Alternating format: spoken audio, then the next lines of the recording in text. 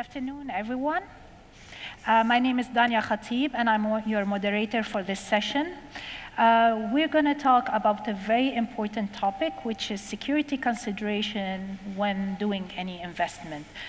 And I think it's very important because today's world, security and geopolitics as a risk is as important as the business risk because the business risk does not play out in a void. It plays out in an ecosystem, in an environment that is heavily um, affected by security and political consideration, geopolitical consideration. And in today's world, we see unrest everywhere. We have unrest in Asia, in the Middle East, in South America. We also have protests in emerging market as well as mature market, like we have the Gilets jaunes in France. And we also have the issue, for example, of terrorism terrorism, you have homegrown terrorism, transnational terrorism. Terrorism is even migrating to the virtual sphere. You have cyber terrorism. So all these topics, we try to, we will try to discuss them in the next half an hour. And we're very lucky because we have three very distinguished speakers who will give us their views and will share with us their experience.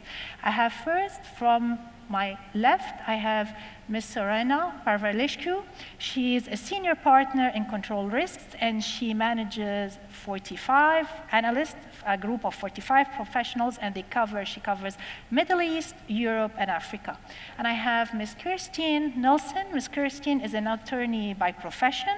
She has held many high-profile jobs in the private as well in the public sector, among which Secretary for Homeland Security for the current administration. And and we have David Young. He's the CEO of Oxford Analytica, which is a geopolitical risk advisory firm. They, and they have clients in the private and in the public sector. And he's himself an expert in international security, in technology, and in emerging markets. So thank you all for being with us today. I will start with Kirstjen. Kirstjen, what do you think are the most important security consideration an investor, I mean, in general, so should look at when placing an investment? Uh, well, first of all, thank you, and uh, thanks to uh, the host uh, for having us here. So I, I, think the way to look at this is to really think about what is risk today. And what I would suggest is that uh, in this hyper-connected world, uh, if you will, where we're all connected through multiple, multiple means, when you look at risk, you have to look at it much more holistically. Mm. So traditionally, of course, you look at physical risk, you look mm. at cyber risk, you look at insider threat, you do vulnerability assessments, understand where your assets are, the services that you provide. You have to do all of that now, but it's made much more complicated uh, by the way in which we're all connected in technology. Uh, so I think you have to look at it, you know, stand back, look at it holistically, and then kind of parse it out into pieces. Okay. David, I want to ask you, I want to mm. finish with, with Kirstjen. When you do a um, security risk analysis, what parameter you look at? What parameter you look at? Yeah, so for a um, certain client. Yeah, so just two opening comments on this, and this kind of reinforces Kirstjen's point is um, firstly, I don't think any investment or any business operation should be um, held in isolation. I think um, one needs to understand that every investment is unique, but it is playing in this hyper interconnected global ecosystem.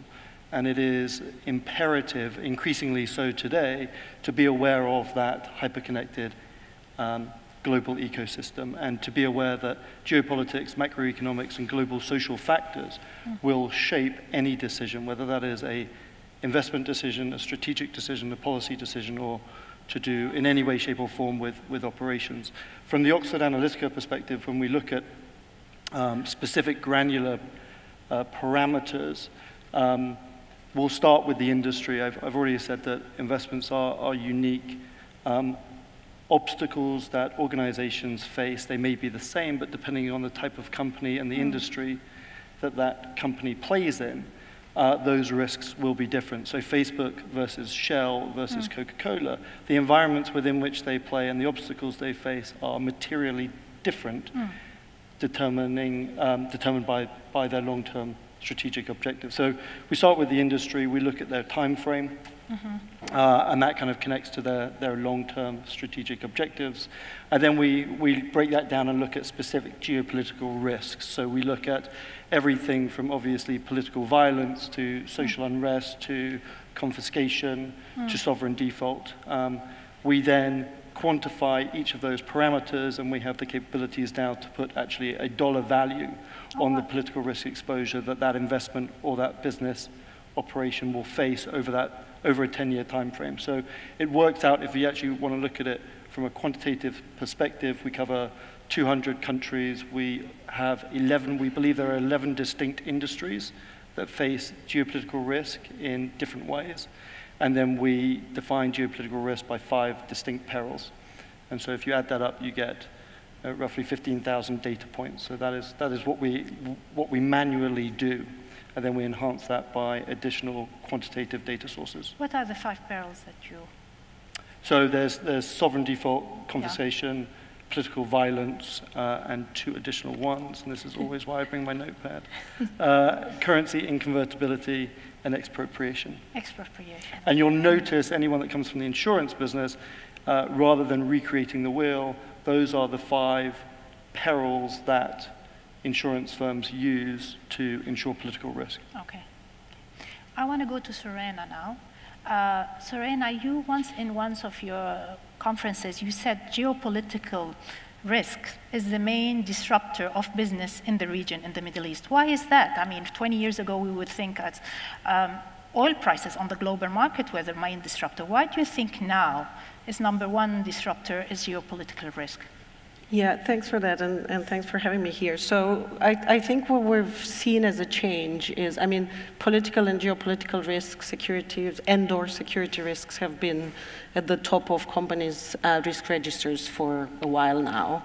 Um, but I think what's changed in the last few years um, with, with the changes we've seen in the, in the uh, global geopolitics is that uh, the business environments have become more a foreign policy tool, mm. um, and this applies globally, but applies very much to the Middle East as well. So mm. governments, national governments are more inclined to take action that will hurt businesses by, by proxy of the nationality they have. And someone in the China panel was saying how they have a lot of money to invest in the US, but they wouldn't necessarily dare to mm. invest it there. It makes sense financially, but it doesn't make sense politically. So you see it disrupting business in two major ways. Um, one is on the regulatory front. Um, mm. We've seen an increase in sanctions, trade disputes, of course. Mm. Um, and uh, national security reviews of investments, um, not just CFIUS in the US, but also you see it in Germany, you see it in other countries as well, sort of picking and choosing which investors you're prepared to sell your assets to as a, as a state. Um, and then you see it in data protection and mm. how um, countries regulate data, uh, which they see as an asset as well. But then you see it in the security space, and the Iran, Iran um, Gulf tensions are a case in point where we've seen a lot of disruption to business and increase in insurance premiums and cost of doing business from something that is at, at core a geopolitical issue. Okay, thank you. Now I want to move to technology. You know, technology is a double-edged sword. Because of technology advancement, for example, we have state-of-the-art surveillance, so we're less prone to a terrorist attack. Uh, but at the same time, technology advancement allows anyone from his computer, I mean, in his home somewhere, in nowhere, to attack uh, a government service, uh, server. So this is why we talk about cyber terrorism.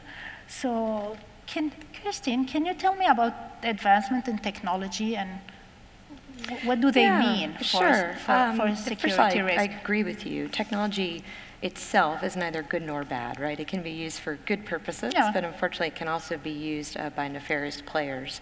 Uh, I think one of the things we're seeing now from both a security perspective, but if you were an investor, what I would encourage you to look at is because of technology as an example, we have this whole question now about what is truth right? Mm. Because technology enables us to have things like deep fakes, uh, enables us to spoof GPS, uh, it enables us to change data in a way that is very difficult to go back to good, to understand what the integrity of that data set was. But as a result, if you are basing your risk decisions on predictability uh, or understanding, you can't necessarily be sure that the data on which you're basing those decisions is real anymore, mm. right? So technology has enabled us through automation, uh, through machine learning to very quickly go through big data sets, understand mm. analytics, but at the same time, it has also uh, entered in all of these new vulnerabilities that actually question the hmm. reality mm. of, that, of that very data. You can also look, uh, another example would be quantum computing, for example. Quantum computing will enable us to strengthen things like blockchain to ensure that different transactions and data sets are secure. Mm -hmm. On the other hand, that very same technology, that ability to compute at that level, will also allow us to attack mm -hmm. blockchain or, or, ways in which. So I think when you look at technology, think of it as a disruptor. Mm -hmm. uh, but in today's age, with the pace of technology, you know, what I always encourage, encourage folks to look at is not so much how do you prevent, but to think about how you innovate while under constant attack because that's kind of where we are today, mm. particularly when we talk about cyber. Uh, but to pretend you can prevent risk, I think is a, is a misleading uh, statement. I think instead we need to think about mitigation, and then we need to think about resilience and redundancy. You know, how do we ensure that in a, in a, in a region or area or environment of disruption, we can still deliver the core function that we're trying to deliver. Thank you. Uh, Kirstjen, you spoke about mitigation. I want to take the question to Serena. How can corporation, how can businesses mitigate uh, security risk? What do they do?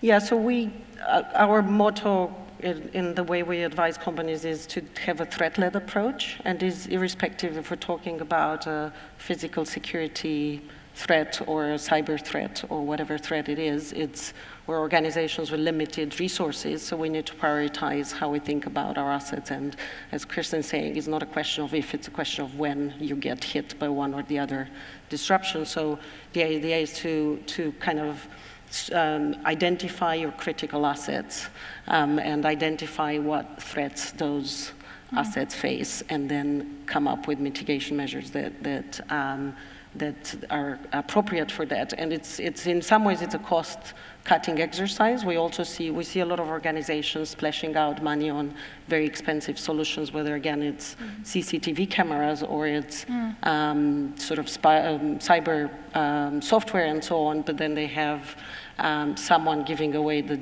the data of the company through a telephone conversation and mm. sort of the jewel crowns of, of the company. So it's, it's not only about sort of the walls that you build around it. It's about the whole ecosystem being reinforced mm. and about making sure that what matters most to you is where you put the priority.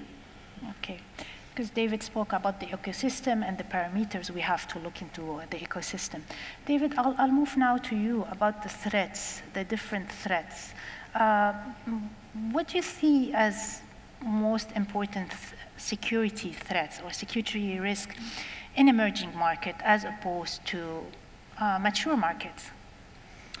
Um, I think if you, if you look historically, and this is me telling nobody what they don't know, but if you go back 10, 15 years, I think we could all agree that emerging market risk surpassed emerged market risk. And um, both of those surpassed frontier risks, but 10, 20 years ago, we didn't really very well categorize frontier risks.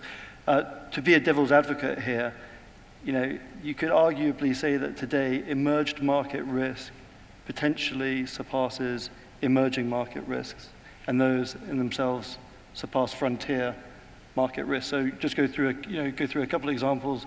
I haven't seen today's the front page of the paper, but I'm pretty certain there's going to be something on there with Brexit. I'm pretty certain there's going to be something in there about US trade and sanctions. Um, and maybe Hong Kong has fallen a couple pages back. But these are emerged market risks that, from the investor standpoint, um, have a significant impact on sustainable long-term performance of those, invest of those investments. Alongside that, you start looking now at uh, emerging market risks. Um, and I mean, I, I, don't think there is a better illustration than, than looking at South America. Um, and, and Central America and looking at what's happening to Bolivia, what's happening to Venezuela, what's happening to Chile. Mm. Uh, from our standpoint, we use the same methodology regardless of the, of the country mm-hmm. or, or the region. Uh, we believe that the, um, the academic robustness of, of our methodologies mm. allows the, the risks and opportunities uh, to come to the, fore, the, the forefront. I, also, just one point that somewhat related to this, but I'm a big believer. I'm always the glass is half full type of person, and everyone keeps talking about risks. Uh, there are two sides of the same coin. On, on one side, there are risks, but on the other side, there are opportunity. significant opportunities. Um, and this may come up later in our discussion, but it will be those organizations and those mindsets that have a sense of agility and speed to change um, that can turn risk into opportunity. They can, they can manage and mitigate risks while looking at identify, identifying and seizing opportunities. So regardless of where we're playing in the world, whether it is emerged markets or emerging markets, from the investor standpoint, from the business strategic standpoint, uh, I'm a big encourager of, of trying to uh, have your cake and, and, eat it too. So can you illustrate? You said also you should not look as risk, but also look in the risk lies an opportunity in taking a risk like an opportunity. Can you illustrate in a case, for example, in a concrete example? For example, you mentioned those countries, you mentioned South America. So can you illustrate saying it would be good for investors Sure. I mean, I think let's take one of the biggest topics at the moment, biggest uncertainties, which is US-China trade relations and, and, where sanctions are hitting. I spend a lot of time with, with clients looking at their supply chains and looking at the agility by which they can maneuver and change their supply chains mm. globally. Uh, the, what will define winners and losers in the decade ahead is this ability to be fluid and agile mm. and adjust to change. I think we're all pretty much aware that um, making calls accurately increasingly is, is more and more difficult, right? Mm. Whether that is to do with US elections or Brexit, yeah. etc. Very few people are really getting it, um, getting it right. Mm. Uh, we, therefore, as a result, break the problems down to the most granular variables and start educating our clients about, okay, here are the drivers, here are the restrainers, and as a result, build um, scenario plans around that to help especially in the, in the private sector, to help multinationals build operational organizations that are quick to adapt and change because they are increasingly living in this hyper interconnected, mm. unpredictable global ecosystem. And if they do not build organizations that can, can change quickly, not only are they not going to be around, they're not even going to realize that they're not going to be around, they will not have this first mover advantage. So supply chains is, is, a, is a really interesting and fascinating and ongoing conversation that we are having with our clients. You, state, you spoke about interconnectivity. Uh, I'll move to you, Christine, because you worked in the private sector and the public sector. Tell me, in terms of security risk, uh, what is cooperation do you see between the private sector and the public sector, I mean, from your experience, and what you would like to see? Yeah, so I think it used to be probably about a maybe a couple decades ago from a security perspective. I mean, public-private partnerships have always existed. We know them over generations in the infrastructure world, but we hadn't really seen them in the security world until mm. maybe the last couple decades. And I would suggest that maybe it was nice to have and now it's a must-have because of the hyperconnectivity. So we're very much in a world today where your risk is now my risk. Mm right? So as part of my risk management, I have to not only assess and manage my risk, but have to understand yours. And that goes to David's point about supply chain. I mean, third-party risk is a great example of this, whether we're talking about the physical supply chain or cyber risk. Yeah. Hmm. Uh, but it's a weakest link problem. So really mapping it out and understanding everyone that you're connected to, what is their risk, and then how do you manage that? So by the time you're in that complexity, there is no one entity that has you know, all of the capabilities, authorities, uh, capacity to hmm. address that. So you have to have partnerships. Mm. And then when it comes to government, uh, using cyber as an example, uh, if a nation state is attacking your company, it's, it's not yeah. a fair fight, right? So what is that enhanced role of government and how do we now relook at what is the role of government, what is the role of the private sector and who does what best? We know the private sector innovates, generally speaking, better than the public sector. Uh, obviously, the private sector cannot regulate, but the public sector is not very good at regulating technology, mm. right? It's always behind, and there's lots of inadvertent consequences. So I think that need for the partnership, the awareness, uh, the sharing and understanding of the operational environment uh, is very important. Something we were talking about just before uh, that are popping up in companies is this concept of a fusion center right? Whether it's an, an operational fusion center or an Intel fusion center, mm -hmm. but a way in which the private sector can work with the public sector daily to take threat information and then understand it within an operational environment. Uh, but I just don't think you can go it alone anymore for all of these reasons. So partnerships are another thing that investors really need to look at when they're looking at a company. Who are the company's partners? Mm. You know, mm. does it have that ability to raise awareness within government? Uh, mm. because of the unintended consequences, I'll give you a quick example. We just had a big uh, spectrum auction in the United States with respect to 5G. Uh, that's a good thing. Uh, we're trying to move forward with 5G as, as is the rest of the world. But one of the unintended consequences is the spectrum that was sold actually will affect weather detecting. Mm. Uh, and if it goes forward, we expect weather forecasts, the accuracy to drop 30%. Mm-hmm. Right? So now, if you're in an industry where you care about uh, construction, you care about supply, you care about anything that has to do with the weather, this is a completely unforeseen, unintended consequence, probably in a vertical you weren't tracking if you weren't in the communications. So having those partnerships and really understanding everyone and everything in your environment becomes so much more important today than it ever was before if you want to try to manage your risk. So I'll, I'll ask another question, I mean, to reiterate on what you said. Uh, let's say a company like Facebook, or do you think, for example, there will be sharing of information for security, like but then if Facebook shares information with the government, then there is a privacy issue. Yeah, it's a fine. Uh, I mean, it's a fine line. It is a fine line. It's when a you fine, speak it's about a fine partnership, dance. yeah. yeah. Uh, you know, foreign interference uh, is probably a good example of that. Uh, in the United States, we worked very closely, as did the, the UK and some of the other Five Eyes, with the major social media companies to prevent the spread of violent extremism. Mm. Right, so we worked with them to pull down terrorist content off the mm. internet. Mm. Uh, the EU's been very involved uh, in that as well, as you know. But then you translate into different contexts, which is this concept of fake news, mm. propaganda, foreign interference? Mm. What is the role of social media to pull that down? Mm. And is that, does it pose its own geopolitical risk? Um, and that's something we're still talking about in the United States. And, you know, in, if you, uh, in the US, uh, you know, it's very um, sacred to have freedom of speech but where is that line as well if the speech is not real? So what we have been trying to do in the US is encourage the concept of, well, where does the information come from? Hmm. Right? If I read something and you tell me it's written by one of my neighbors, I'll think of it very differently than if it was written by a bot created by a foreign nation. Yeah. Right? So where, what is the source of the information? It's not necessarily changing the information, but hmm. let's help people not be lazy. Let's help people understand where are you getting your news from? What is the source of it?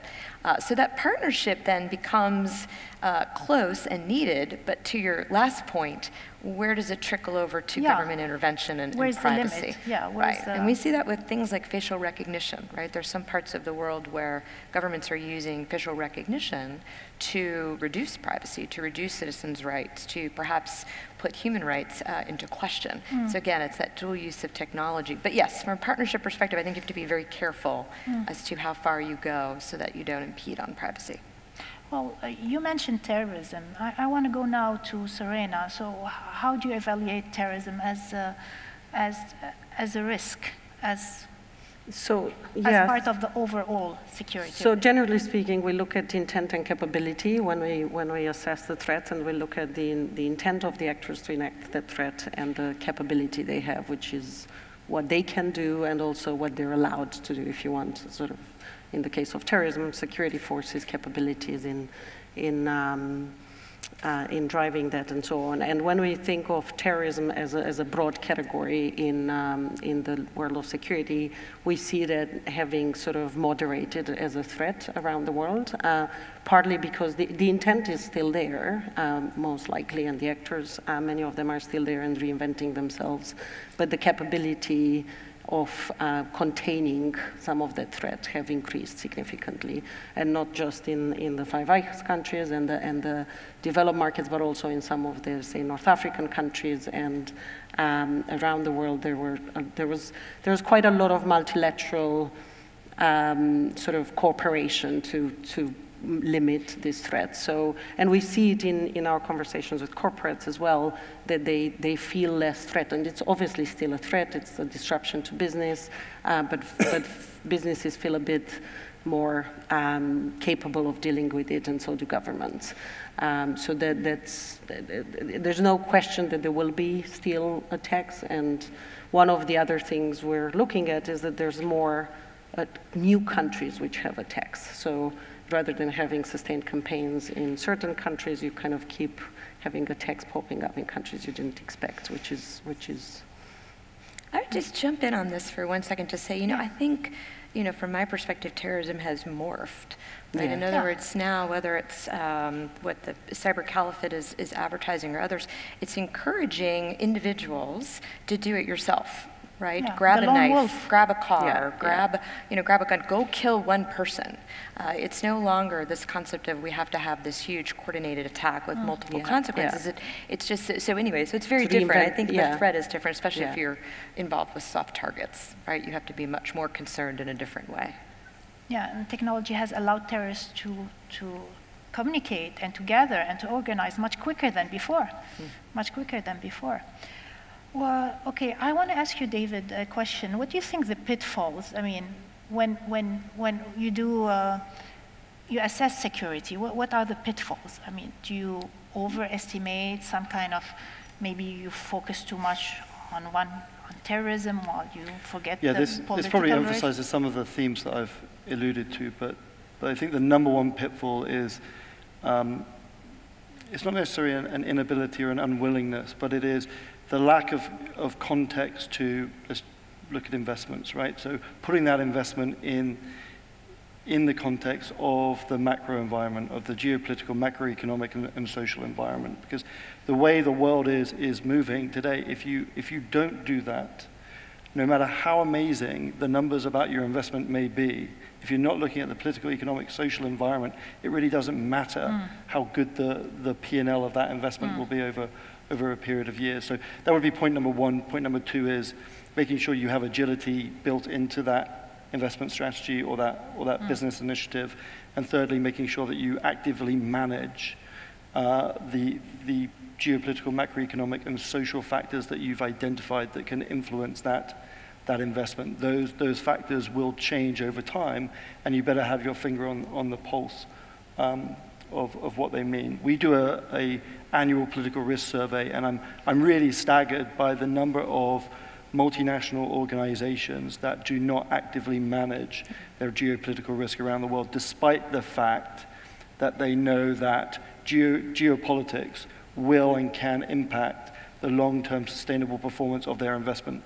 Yet, I think from last year's performance, only 15% of organizations with a billion dollars of revenue or more are actually hmm. taking active steps, not just to identify, but on an ongoing, forward-looking basis to manage and mitigate risk. So that would be just, hmm. I think, my, my biggest encouragement to, to actively manage.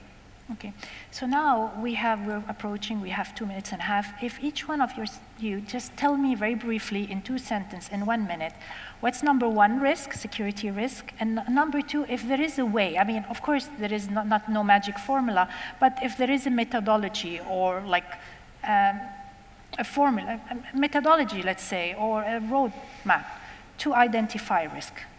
Serena? Uh, so the first, the top risk, I think, I, at this point, the top security risk for businesses must be cyber, particularly for countries in the Middle East. May sound uh, controversial, given that there's a lot of security issues going on in the Middle East, but I actually think, and the Gulf in particular, security, uh, cybersecurity is the biggest threat to businesses as much as uh, governments. Um, how we assess that, as I said, we, we look at intent and capability and we look at the nature of the business you're talking about. There are formulas that you can work through, but in the end, the purpose, if you think of the ultimate purpose of this, is what do you do about it? It was one, one how you track and monitor it to be able to react like David was saying, and second, um, how, what do you do about it? And I think whether you quantify it or you put it on a scale, the idea is that you can have a, an, an agreement on what you do for different types of threats and, and how you react to them.